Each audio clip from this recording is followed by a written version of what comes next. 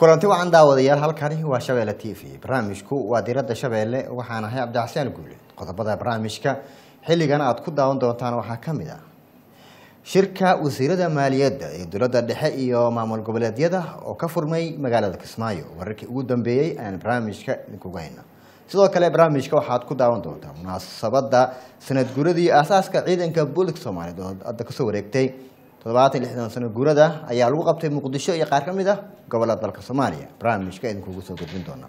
Sidoo kale barnaamijka waxaad ku daawan doontaan guddiga tacliinta sare ee dalka ayaa waxa uu soo gebagabeeyey booqasho labadii maalmood ee la soo dhaafay uu ku joogay dalkaasi turkiga. Haddaba markii turkiga gaareen maxay halkaa ku soo arkeen? Waxaa ka warbixi doona guddoomiyaha guddiga tacliinta sare.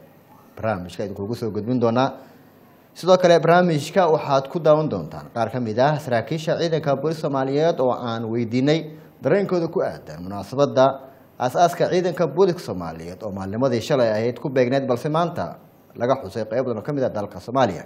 Qodobada iyo qodobo kale ee barnaamijka diradda shabeelle aad ku daawan doontaan u diyaar garooba. Haddii uu barnaamijkan ku dhaafo waxaad dib uga daalacan kartaa baraha bulshada aan ku leenahay sida facebooka youtube-ka shabeelle t v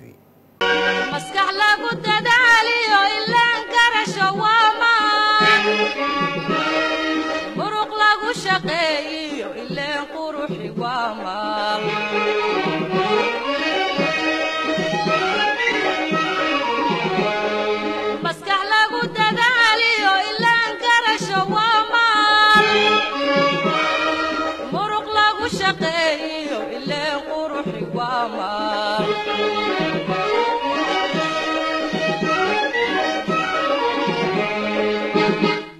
Waaga keen daawadayaal aan ku bilaabay barnaamijkeena diradda shabeelle si hordhaca barnaamijka aad ku daawaneyseenba munaasabad lagu xusayay sanad guuridii ka soo wareegtay markii ciidanka booliska soomaaliya la asaasay oo hadda laga joogo lix iyo todobaatan sano ka hor ayaa lagu qabtay qeybo badan oo ka mid ah gudaha dalka gaar ahaan magaalada muqdisho iyo qaar ka mid ah maamul goboleedyada dalka haddaba munaasabad si aadan loo soo agaasimay ayaa maanta waxaa lagu qabtay garoonka injineerisow ee degmada cabdicasiis munaasabadan ayaa waxaa ka soo qeyb galay saraakiil iyo qeybaha kala duwan ee saraakiil xigeenada dableyda alifleyda ciidanka booliska soomaaliyeed ciidanka booliska soomaaliyeed ayaa halkaa waxa ay ku soo bandhigeen gaadi kacyaar.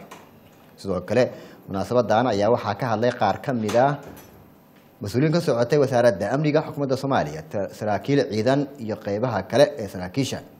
Hadda marka horeysa waxaan la daawataan taliyaha saldhigga degmada cabdicasiis oo si gaara warbaahinta shabeelle gaar ahaan tv-ga shabeelle u wareystay islamarkaana uu wadiiyey dareenkiisa. Sidoo kale waxaa raaci doono sargaal sare oo ka tirsan ciidanka boolis soomaaliyeed oo isna ka hadlaya dareenkiisa islamarkaana hambali u diray guud ahaan ciidanka booliska soomaaliyeed. Maanta u qurux badan tahay sanad guuradan sanad guuradii wax badan ka bedelan tahay. Haddii noqon lahaa dhinaca ammaanka iyo isku dabaridka ilaaha ku ammaanan hambalyadan maanta dhammaan. Waxaan rajaynaynaa inaa caalamka dhan gaari doonto. Sida aan telefishinada u jeedo aan aqaano telefishinna caalami inay yihiin. Waxaa kaloo hambalyaynaynaa sanadkan. Waa ka duwan ammaanka xaggiisa oo magaalada muqdisho. Oo wax badan iska bedeleen marka ciidanka booliska soomaaliyeed maantay waxaa dhihi karaa ayagoo waajibkooda ka soo baxay haddana ka soo baxay sanad guuradii haddii noqon lahayd ciidanka gaardiskoodii iyo waxqabadkoodii soo bandhigidda shaqooyinkii loogu talagalo dhan. Waxaan rajaynaynaa inaad gaarsiin doontiin caalamka oo dhan? Sida macnaha u tababarantiinba. Hambali allena ciidanka booliska soomaaliyeed aadaan u mahadsantahay dhammaantiin.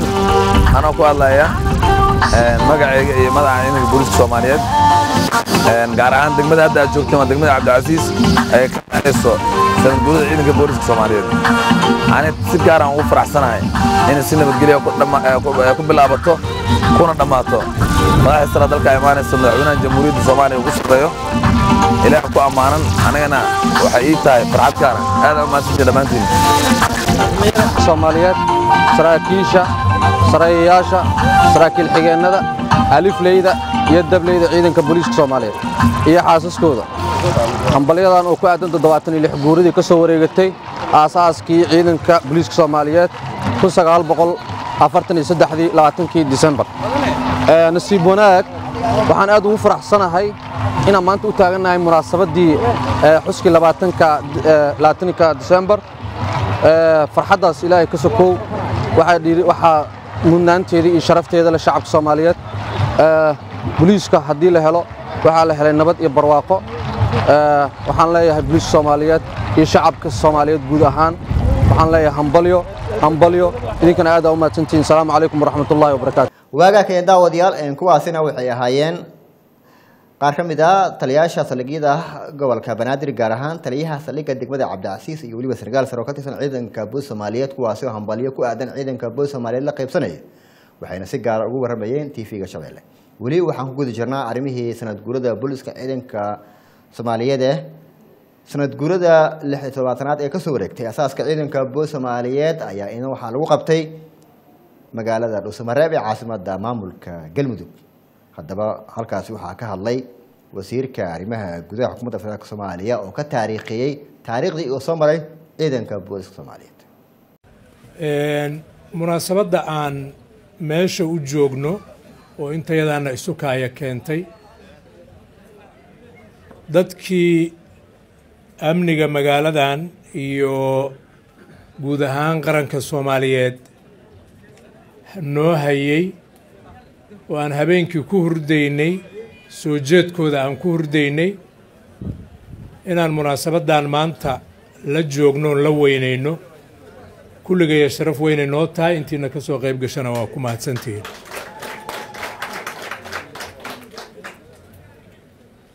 Sidaad og tihiin sanadka kun sagaal boqol saddex iyo afartankii waxay ahayd taariikh ahaan waqti soomaaliya gumaystayaashu ay gacanta isu beddeleen. Kow iyo afartankii sidaad la socotaan taariikhda talyaaniga waa laga guulaystay. Qolyihii taxaalufka ahaa oo ingiriisku ka mid ahaa ayaa ka guulaystay. Koonfurta soomaaliya oo talyaanigu joogay waxaa la wareegay. Mas'uuliyaddeedii ma dhihi karee gumaysigeedii la wareegay dowladda ingiriiska kun iyo sagaal boqol afartan iyo kowdii oo gumaysigaasi joogi doono koonfurta ilaa kun iyo sagaal boqol iyo kontonkii muddadaas gudaheeda siyaasaddii caalamiga ahayd oo socotay iyo qeyb ka mida dagaalkii labaad oo adduunkoo socdo shan iyo afartankii dhammaan doona waxyaabo runtii haddii talyaanigu sii joogo aan suuro galena suuro galay oo ay ka mid tahay in boliis soomaaliyeed oo dirays boliissita oo howlqabad iyo howlgal boliis wata ay ay la asaasay. Saddex iyo afartankii in iyadoo magac waxoogaa iska nasahan leh la sameeyo ururkii s y l oo ay sameeyeen saddex iyo tobankii iyaguna dhallinyarada ahaayo soomaaliyeed ilaahay xamdigii lix iyo toddobaatan sano kadib weli inkastoo la soo maray dee waqti xoogaa iska adag inta hadda sagaashan iyo kowdii laga soo bilaabay. Waxaan aragnaa boliiska iyagii oo dib u soo noolaaday dib u howlgalay inta hadda sarkaalkii halkan warbixinta ka bixinayay uu noo sheegay oo howlgallo iyo waxqabadana sameeyey waxaan rajaynaynaa sanadba sanadka ka dambeeya. Toddobiyo toddobaatanka markaan halkan isugu nimaadno waxqabadka boliiska iyo amniga iyo hawsha ay u hayaan shacabka soomaaliyeed meel walba ha joogeene. Inay sidaan ka sii bilaan doonto ka sii hagaagsanaan doonto insha allah. Waxaan rabaa inaan ka cudur daarto saraakiisha qoraxda taagan iyo ciidanka qoraxda taagan oo uniformkoodii qaba annaguna aan hooska u taagannahay. Waa salaamaynaa dhammaantood. Waxaan rabaa waxaan rabaa inaan nuqdadii ugu dambeysay oo hambalyada ahayd soo gebagabeeyo oon idhaahdo ciidanka booliiska soomaaliyeed madaxdooda taliyaha taliya ku-xigeennada ciidanka hadda halkaa nala jooga taliyaha booliiska gobolka taliyaha booliiska galmudug taliyaha nabad sugidda galmudug ku-xigeennadooda si gaara taliyaha saldhiggan cabdulaahi madoobe madaxda maamulka rayidka ah ee heer galmudug heer gobollo labada gobolo ay ka kooban tahay degmooyinkooda intii nagala joogta especially macalin nuur oo hadda isaguna si gaara arrimaha abaabulka degmadan iyo degaankan mashquul ugu ahaa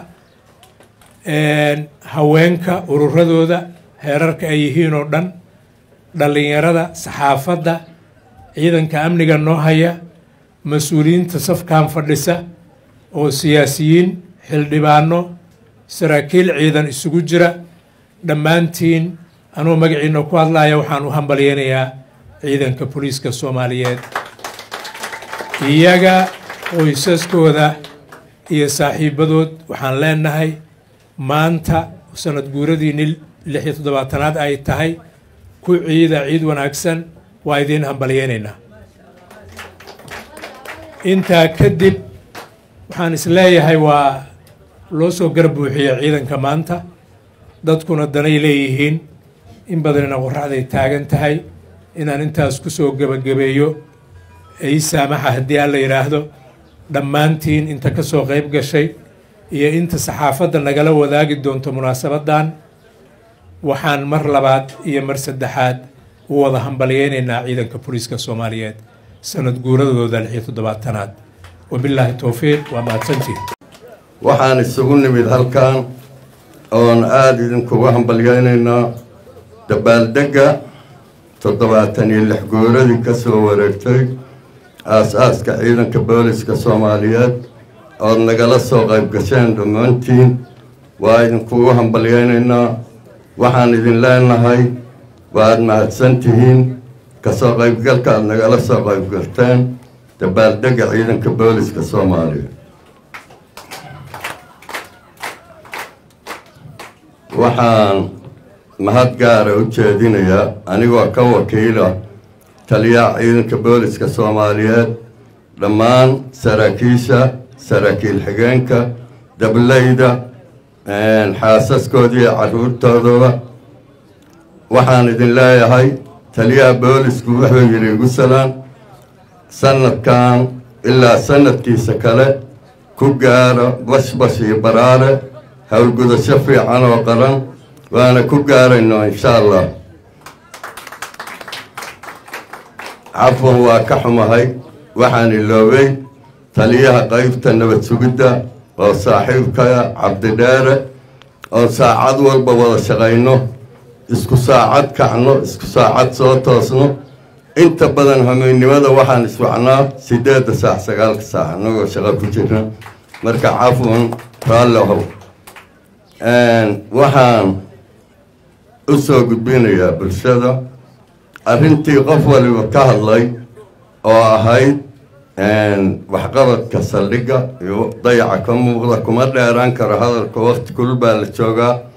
Waxaana si wanaag noo ammaantay inay fadhiyaan guddoomiyihii ganacsatada guddoomiyihii ururka dhallinyarada guddoomiyeyaashii haweenka qurbo joogtii jaaliyadii wasiiradii xildhibaanadii galmudug oo xildhibaan duni markay hadlayso waa maqlaysin afartan iyo dhowr baa nahay bay tiri. Ururada iyo bacmistarku waa ka badan yihiin. Annagu idinka mid baa nahay. Wasiiradanadu waa naga mid. Aan ku tilaabsanno mar haddaan maanta kulannay indhahanagana ku wada aragnay. Waxaad ka muuqda saldhigga inaan ku tilaabsanno aan ku dadaalo.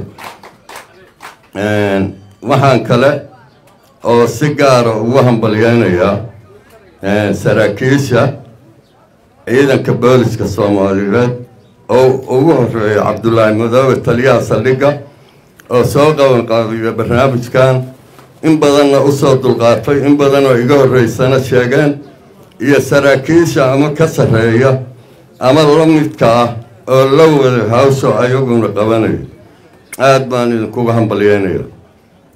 Waa soo goobinayaa hadalka ku dheeraanmayo waad arkaysaan ciidankanagu shaqada uu qabtana idiin sheegi mayno.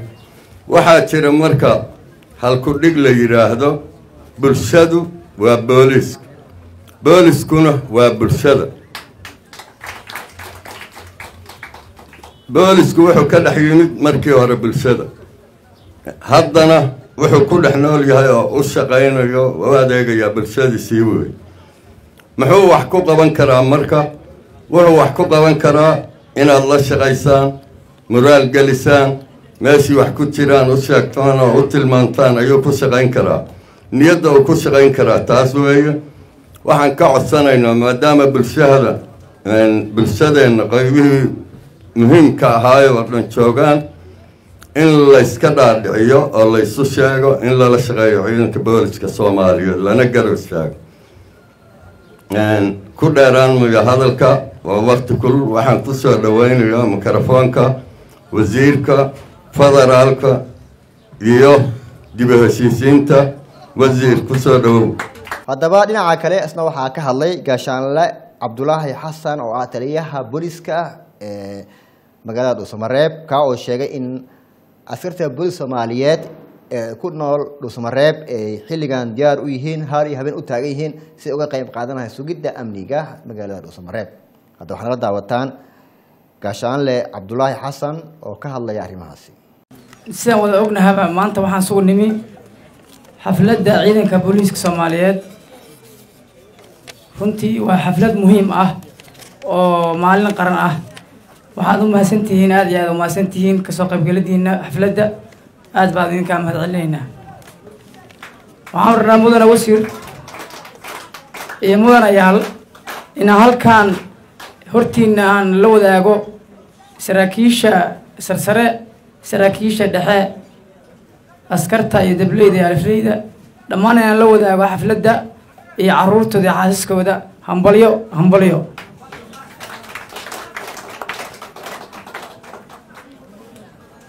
Mudana wasiir waxaan halkaan hambalyo kadib ka soo jeedinaynaa ciidanka amniga caasimadda oo runtii ah isku dhaf oo ka kooban sugidda iyo booliiska runtii wasiir amnigii shaqadii loo diray way ka soo baxeen.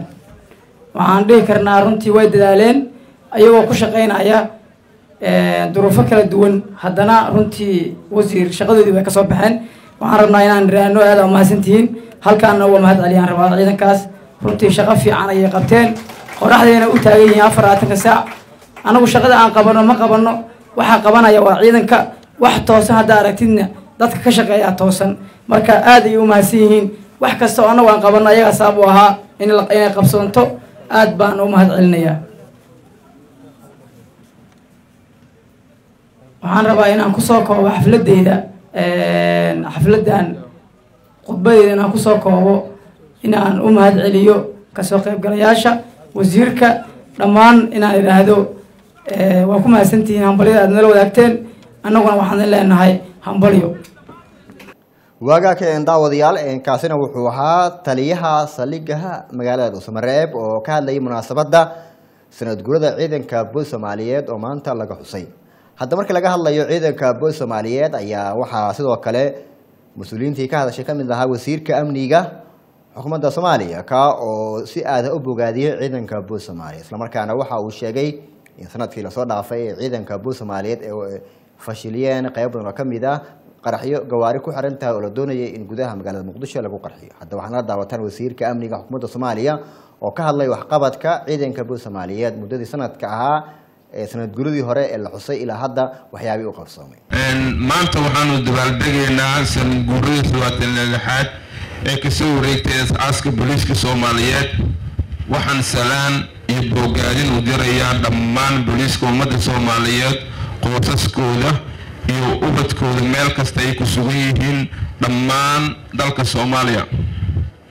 Waxaan bogaadinayaa xilkasnimada daacadnimada iyo gudashada waajibaadka booliiska la garab taagan yahay ummadda soomaaliyeed khaasatan sugidda amniga oo ah tiirarka ummad kasta ku noolaato saldhigna u ah xasiloonidii iyo horumar waara mudanayaal iyo marweyn dhammaan waa la wada soconaa horumarka iyo waxqabadka la taaban karo ee booliiska soomaaliyeed gaaray muddooyinkii ugu dambeeyey waxaa xusid mudan dhacdooyinka muhiimka ahaa ee booliisku qabtay sida ka hortaga cadowga ummadda soomaaliyeed ee al-shabaab oo tiro aad u badan ciidanka booliiska gacanta ku dhigay fashilinta iyo gacan ku dhigidda dhagarqabayaasha ku howlan waxyeeleynta ummadda soomaaliyeed.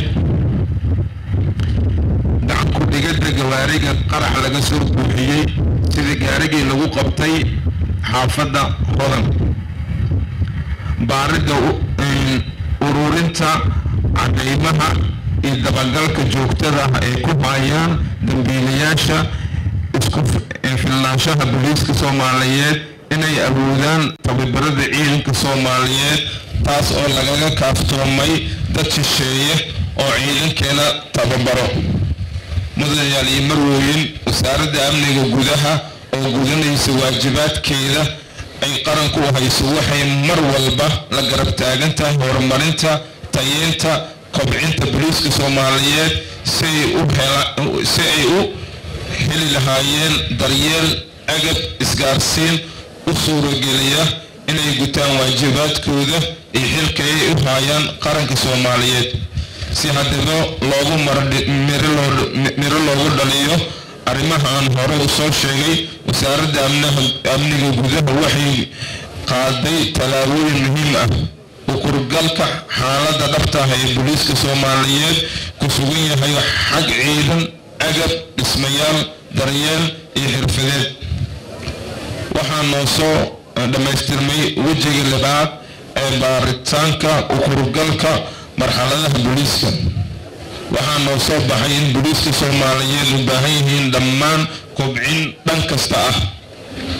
Waxaa noo soo baxay inay laga maarmaan tahay casriyeenta booliiska soomaaliyeed si ay ula jaanqaadaan faldambiyeedka cusub ee ku soo kordhay adduunka sida argagixisada tahriibka muqaadaraadka iyo dembiyada abaabulan mar labaad waxaan mahad gaar u celinayaa dhammaan booliiska ummadda soomaaliyeed goob kasta ay ku sugan yihiin waxaan idin rajaynayaa caafimaad cimri dheer iyo in ilaahay sanadkan sanadkiisa nabadqab isku keenkeeno ugu dambayn waxaan idin xasuusinayaa inuu booliiska yahay barbaariyaha يو صاحبك غارك يبرشد الصومالية وقبل حامك أمنك يو خويدة تولني مدى وحايدي فريا عدالة سنان اي كبيرة تحي آه قبير قفج عليسي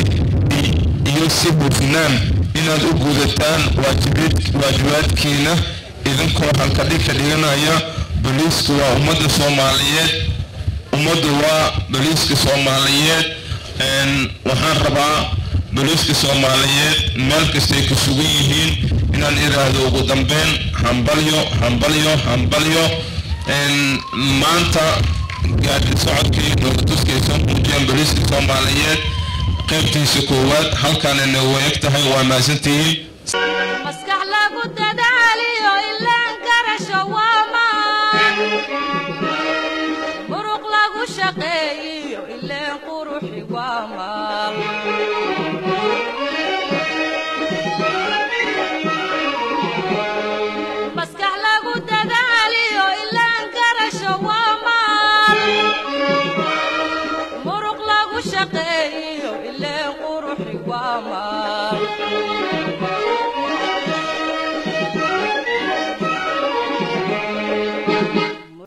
waagaakeen daawadayaal waxaa inoo soo socdo qodobo ay ka mid yihiin guddiga tacliinta sare dalka oo booqasho ku jooga dalkaasi turkiga oo la kulmay qeybaha kala duwan ee arrimaha tacliinta ee dalkaasi turkiga. Balse iminka haddii aan eegno.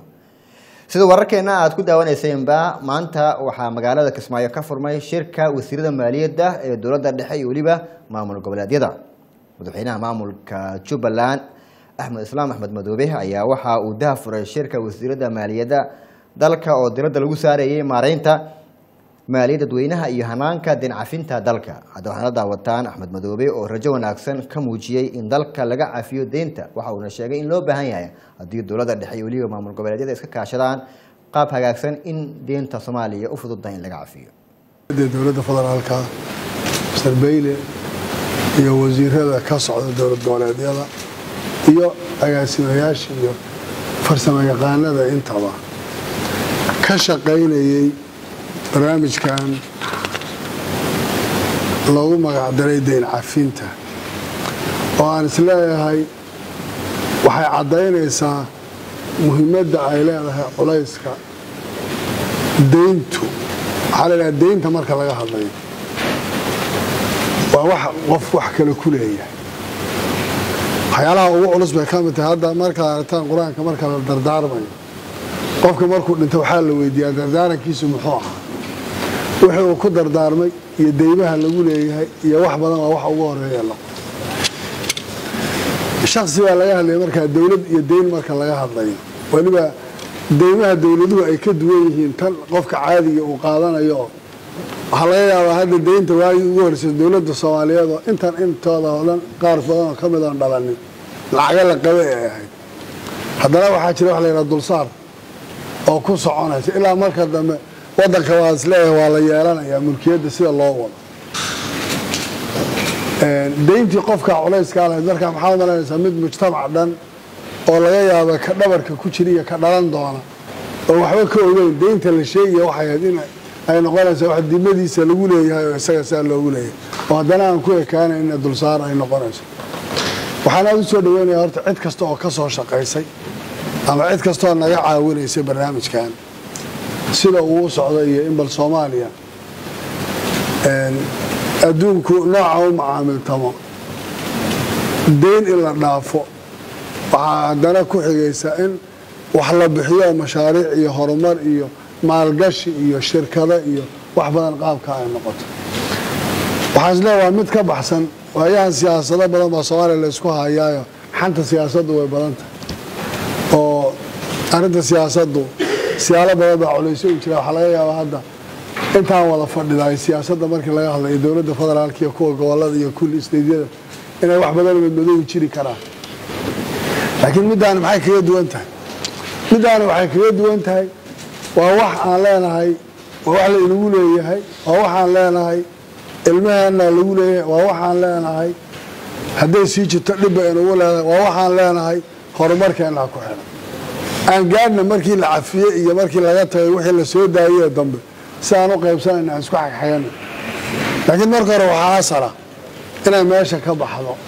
Moota deyntan oo nagu sheeganaya hadday idhahaan waan idinka cafiyaynaa shuruudihii buuxiya waxa annaga nala gudboona waxay tahay inaan buuxino si boqol boqola shuruudaha lanaga rabo. Oo warbal xataa wuxuu yidhi hadhow inagu aan isqaqabsanne oo hadhow waxayna horta dadka aan la joogna waxaan u sheegana innagu hadhow waxaan isku qabsanayna iyo kanaasad bursada iyo wixii la bixiyey sax looma qaybinin iyo wasiir beylo wixii hore soo gaaray sidan ay ahayd iyo kulli waxaasoo dhan dib ha noqoto. Laakiin waxaan hadda ka wada hadlaynaa ha noqoto dariiqa ugu sahlan inaan buuxino shuruudaha inaan gacmaha isqabsanno inay deyntaasi meesha ka baxdo. Oo iyada aan meesha inaan iyada kulligeed ka wada shaqayno waxay la iyo wasiiri iyo siyaasad ahaanba waa mid annaga dowlad goboleedyada iyo dowladda federaalka kulligeedna aan isku waafaqsannahay arrinta deynta iyo cafiskeeda inaan kulligeed ka wada shaqayno oo god kasta ay gasho wixii dowlad goboleed ku xidhma iyo wixii ta federaal ku xidhma iyo wixii baarlamaan ku xidhmaba aan sidaa uga wada shaqayno inay midaasi ay tahay. Shayga saxda ah ee meesha lagaba maarmaanka. Aan idinkana idiin rajaynayo inay noqonayso kulamada idinku dambeeya waxaan sugnaa ay noqoto. Soomaaliya deyntii waa laga cafiyey mashaariicdaa soo fulaysa. Waxaanay noqonaysaa aan doodeenna daan dib u dhigano marka waxaan u malaynaya waqtigu uu idinku yaryahay soomaaliya maanta haddaynan siyaasaddu iyo hogaaminta iyo isqabsasho aynan midnimo intay bilaabaan ayna hore u wadin wax badan baa inaga halaabi kara. Laakiin shayga asalkii waxaweye soomaaliya maanta waxay u baahan tahay isku duubni xusuus meeshay shalay ka timid. Xusuus waayo waayo siday ahaan jirtay. Xusuus waxaa horteeda yaalla rabto inay hiigsato. Xusuus burburku dhibaatada uu leeyahay inay intaas ay dib u qaataan oy dib waxaasoo dhan wada fiiriyaan baa asala marka waxaan idin leeyahay allah idiin fudaydiyo waan idinku garab taaganahay ma siyaasadaynaynaa arrinta deynta maanta ma rabo inaan hal kelmad oo siyaasada warbadaan iga buuxa. Oon hadda dowladda federaalka ka hadli lahaa oo wasaaradda maaliyadda lafteeda iyo adeerkay beyle wax ka sheegi lahaa odhan lahaa war waddanka sidaan sax maaha. Laakiin maqaamkeedii ma aha. Bilmunaasaba midaana waa mid u baahan qof waliba inuu ka shaqeeyo deynta qofka markuu dhinto. Laleeyahay war deyntiisii ma laga cafiyo yaa qaadaya aan la aasayn. Maxaad malaynaysaa qaran dhan oo la leeyahay idinkoo dhan iyo duuduub baan idiin leena aan middaa ka wada shaqayno aad baad u mahadsantihiin guul baan idiin rajaynayaa waxaan is kulankan kan idinku xiga waxaan rajaynaynaa iyadoo la yidhaahdo soomaaliya way ka soo baxday arrintii deynta habkii loo mari lahaa. Waa laga cafiyey. Isxagxagashada markaa inoo noqoto aad baad u mahadsantihiin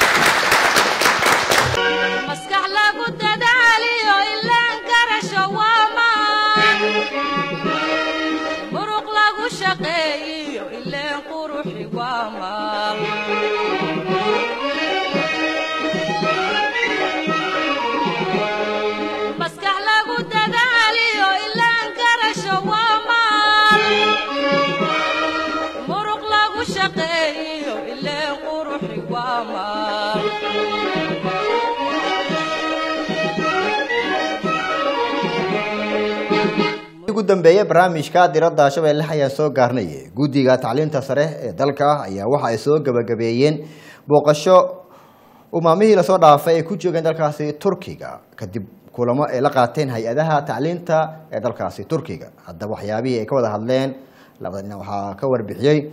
Gudoomiyaha guddiga tacliinta sare ee dalka soomaaliya profesor maxamed faarax good waxyaalaha kale isla garanay waxaa ka mid a si is- d- wada shaqayn ah oo isku dhow in maaragtay aan annaka iyo commission iyaka iyo commissionka u wada shaqayno si aan aqoon isweydaarsi u samayno han isku weydaarsano wixii khibrada iskaashano xidhiir joogto aan u yeelano iyaguna waxay naga ballan qaadeen wixii taageero ah ee aan uga baahano ee ay karaan inay garab nagu siinayaan aadna way ugu farxeen in guddigan la aasaaso.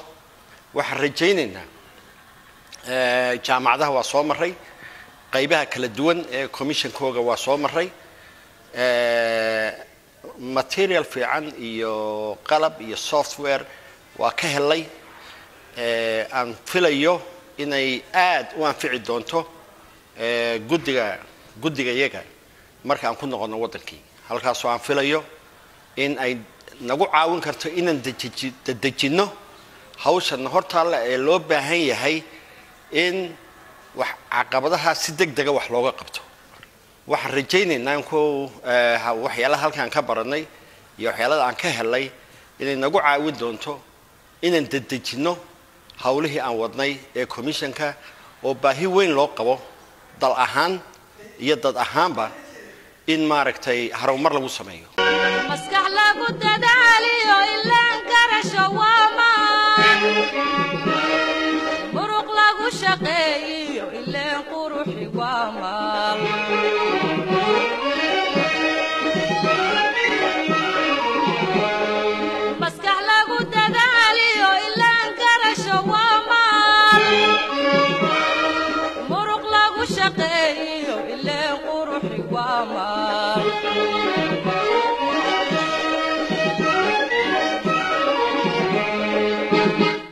guud ahaan daawadayaal intaas ayaan jecelnaa ku soo gabagabeeyey barnaamijka diradda shabeelle xilligan oo kale ayaad ka daawataa tv-ga shabeelle haddii uu barnaamijkan ku dhaafo waxaad dib ugu daalacan kartaa baraha bulshada aan ku leenahay sida facebook youtube-ka shabeelle t v. Waxaanu ku mahadsantihiin daawashada barnaamijkeena diradda shabeelle